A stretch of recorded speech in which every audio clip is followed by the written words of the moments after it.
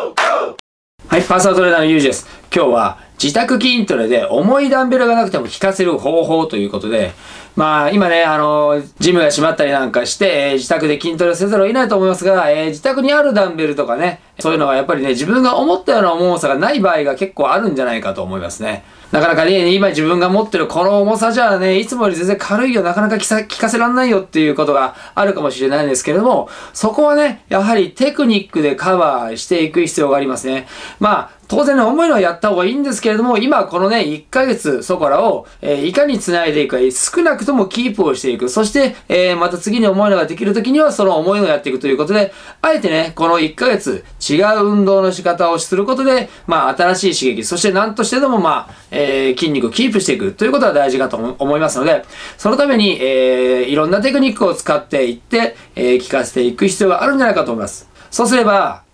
えー、少し軽めだなと思うダンベルでも、うまく効かせられると思います。えー、まずですね、一番使うべき、えー、テクニックというのは予備疲労法というものですね。予備疲労法。これは、えー、最初にターゲットとする筋肉を疲れさせといて、次に行う運動で、複合的な種目を入れることで、それと他の筋肉も使っていくんだけれども、さらに追い込んでいくということですね。例えば、サイドレーズの場合。サイドレーズの場合に、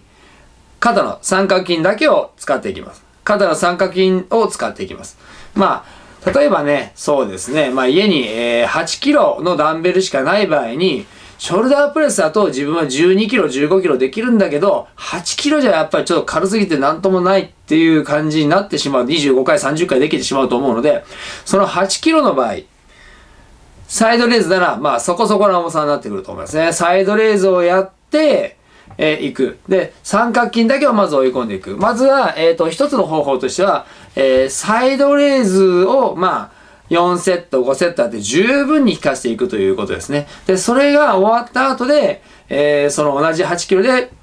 ショルダープレスをやっていくというふうにすれば、三角筋ね、すでにね、ある程度パンパンに張って疲れた状態で、三頭筋でさらに押していく、押し上げていくということで追い込んでいくということがまあできますね。それでショルダープレスの方も、えー、また4、5セットやっていくという形をとっていく。胸に関しても同じで、胸に関しても、えー、ダンベルフライをやっていく。まあね、プレスだと当然それも30回できてしまうような重さかもしれないんですけど、フライをやってていく。えー、フライを、これも、えー、4、5セットやって、ある程度晴らして、効かせ、効かせて、ピリピリ効かした中で、えー、その後プレスをやっていく。これも4、5セットまたやっていく。という感じで、ターゲットする筋肉をまず効かせる、パンパンになるぐらいまでやっていく。ある程度セット数をね、やっていく。それからプレスをやっていく。という方法を取ることが、これ予備疲労法という感じになっていきますね。今のこの予備疲労法の使い方なんですけど、通常は今のように、えー、例えばサイドレーズを4、5セット行って、その後プレスを4、5セットやっていくという方法ですけど、えっ、ー、と、まあ、僕がたまにやったり、まあ、僕のお客さんにもたまにやってもらうのが、それをスーパーセットの方式でやっていくということですね。サイドレーズをある程度限界までやりました。えー、結構正、正確なフォームでやると、もう上がんなくなってくるところまで行きましたというころになってからすぐにプレスをやっていく。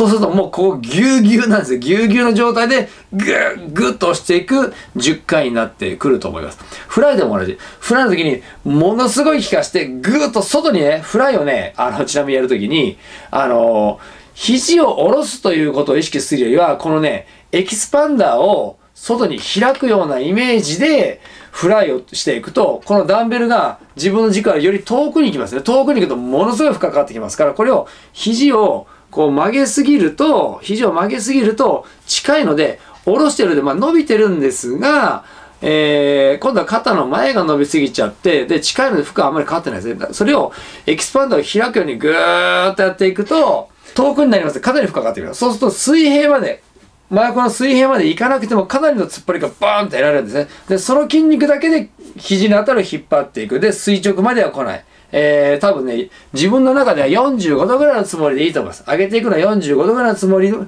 ところまでで、そのままエキスパンダーを開いていくという繰り返しのフライをやって、そうするとね、10回とかね、12回ぐらいもピリピリ相当痛くなってきたところですぐにダンベルプレスに変えていく。これを立て続けにやっていくと、今のフライの後でプレスをやっていくと、もうこう切れそうなぐらい痛くなってきて、もう正直翌日ね、ものすごい筋肉ついきます。えー、まあそういった感じの、この予備疲労法にこのスーパーセットを加えていくというやり方もありますので、えっ、ー、と、まあこれはね、あの、週ごとに変えてもいいかもしれないですね。最初の週は、普通の予備疲労法で4、5セット。その後、えー、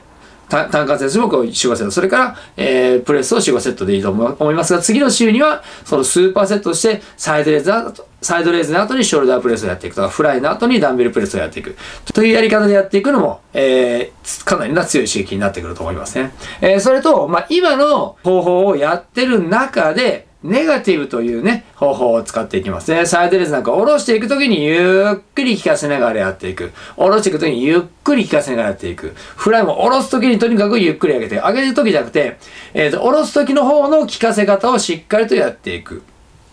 ということを、えー、意識していった方が、より今のね、あまり重くない重さでもかなり効かせられる方法になりますので、これはなんかね、重いのをやる通りに、息だけ、息にグッと下ろす方が、スポン上げて、下ろし、上げて、下ろして。これをちょっと軽いのでやってると、より効かないですよね。まあ、ちなみにこのネガティブについては、えっ、ー、と、ちょっとまた後日、このネガティブをどうやってより効かせられるか、その細かい感覚のところをきちんとね、えー、しっかり説明したいと思いますので、このネガティブのところについては、えー、ちょ、また後日別な回で、えー、近いうちに説明したいと思ってますけれども、まあ、その下ろしていくときには、今の予備疲労とかやってる中でも、そのネガティブを使っていくということ。えっ、ー、と、もう一つはね、えー、ファーストマックスと言いますね。これ勝手に名前つけたんですけれども、今の、まあ、その予備疲労法の中で、えー、例えば最初のサイドレーズ。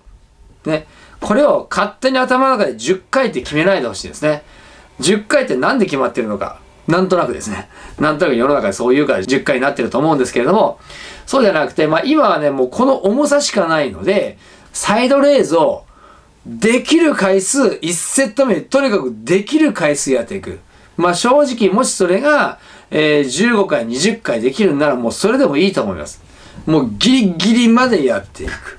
で、それで2セット目に関しては少し休憩を置いてやりますけれども、ね、60秒ぐらい休憩を置いてやりますけれども、その時にはえー、20回できたのが15回になって、次のセットでは12回になって、次に10回になって、次に8回になっていくという感じになってくると思うんですけど、これは最初から10回で区切っていく、10回、10回、10回という感じで区切っていく必要はないということですね。だから、1セット目ですね、ファーストセットにマックスの回数をとにかくやるということ。このフライとか、えー、サイドレーズ、このこのサイドレーズとか、このフライをやっていくときには、えー、まあ、フォームを崩さない、きちんと仕方して、そのターゲット、筋肉がキツキツになるまで、えー、やっていく。その回数をやって、ギリギリの回数をやっていくということ。それによって、えー、後半はどんどんきつくなってくると思うので、1セット目に限界、まあ2セット目の限界、3セット目の限界までやっていく。という感じでやっていくので、まずは1セット目回数多くても、そういうやり方でやってみてほしいですね。まあ今のこと、すべてをね、ミックスでいきますよね。えー、まあ予備疲労法をやる。まあ予備疲労法をさらにスーパーセットでやることもできる。で、そこにネガティブを組み込んで下ろす時に引かせていく。で、それをやっていく中の1セット目はまずマックスの回数をやっていく。ということをやっていくことで、自宅トレーニングもね、かなりね、レベル上がってきて、えー、きつくなってくると思います。まあこんな感じでやっていけばね、この1ヶ月もかなりね、新鮮な1ヶ月になるんじゃないかと思います。今のようなテクニック、ふんだんに使ってください。ただし、すべてね、正しいフォームで聞かせながらということが重要ですよね、えー、重くないので本当にきちんとしたフォームでやらないと全然意味がなくなってしまうので、そこのところもね、大事にやってみてください。はい。パーソナルトレーナーのゆうじでした。